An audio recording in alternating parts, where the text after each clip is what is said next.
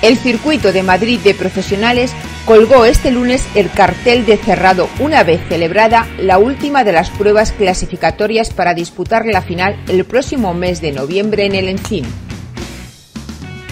Como viene siendo tradicional, fue la Real Sociedad Hípica Española Club de Campo el campo elegido para recibir a los 70 golfistas que buscaron la clasificación sobre el recorrido norte en una jornada en la que las quinielas se repartían entre Pablo Herrería, que buscaba su cuarta victoria, y Vicente Blázquez, aspirante a liderar el ranking. Sin embargo, la sorpresa llegaba de la mano del local Diego Suazo.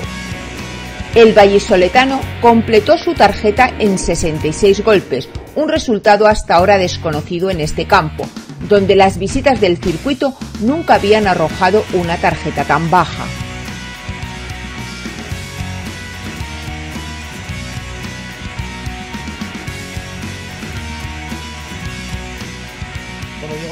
Muchas felicidades, ¿eh? una victoria muy esperada, llevamos todo el año buscándola y al final, pues precisamente en tu campo ha llegado. Pues sí, la verdad es que muy contento porque ganar en casa siempre, siempre está muy bien, siempre parece como que en casa lo tienes que hacer bien porque conoces el campo, pero bueno, también tienes un poco la presión añadida de, de, que es tu club, de que quieres hacerlo bien, agradar a la gente, a la gente del club que confía en ti. Entonces bueno, pero la verdad es que han salido las cosas muy bien.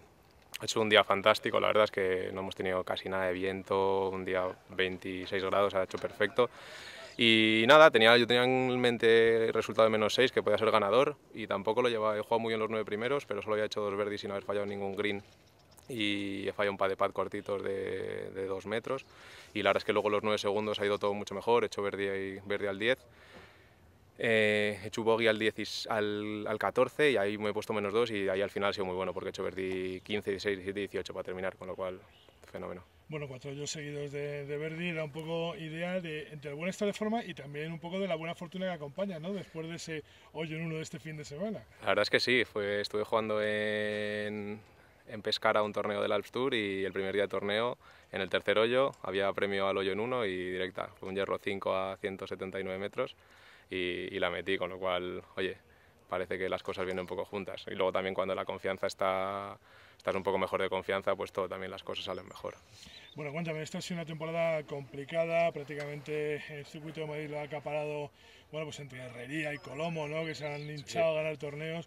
Me imagino que ya tenías muchas ganas y, y, esperar debe ser muy duro, ¿no?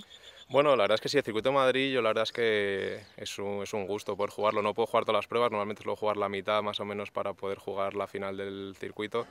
Y bueno, pues entre la, las pocas que juego pues, y que el nivelazo es enorme, Colomo ha estado intratable este año, Pablo Herrería ha ganado con unos resultados enormes, entonces pues, pues es difícil. Y luego una vez también en Layos quedé primero, pero me ganó Vicente por Blázquez y bueno, o sea, me ganó eh, Vicente por Verdis.